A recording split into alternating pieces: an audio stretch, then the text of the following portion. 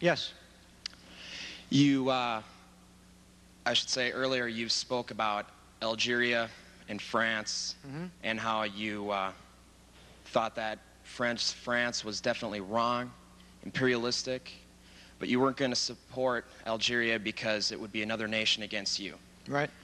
You spoke about the evils of South Africa and its apartheid, and how you wouldn't, or how all the other nations had cut ties, they didn't. So, as a leader of an Israeli government, you would certainly be in league with them. In the 1930s, Adolf Hitler used hatred as a tactic to pull his people together after the shattered, war torn years of the First World War and got his country to work, motivated by hatred towards and an extermination policy towards your very race. He did what he had to do. Just like what you say, you do what you have to do to keep your country alive. And what I'm trying to say is it's that same kind of political amorality that has led us to the wars, to Hitler's, to Stalin, to the Khmer Rouge, and yes, maybe even you. I just thought you should think about it.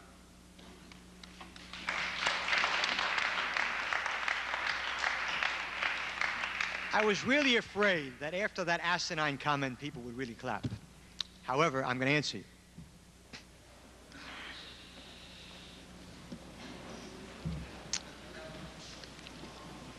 Do you think that the Jews of Germany threatened Germany?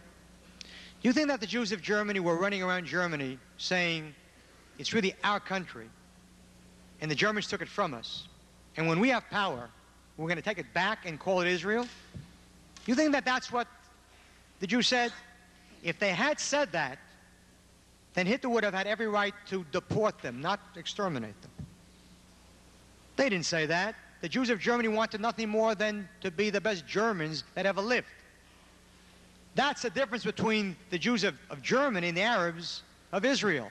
They don't want to be Israelis. They don't want to be Jews. They claim that Israel is an illegal state. It's a, it's a settler state. It's an imperialist state. And they want to wipe, to wipe it out.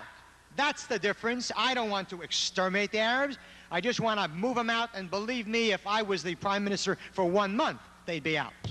Yes.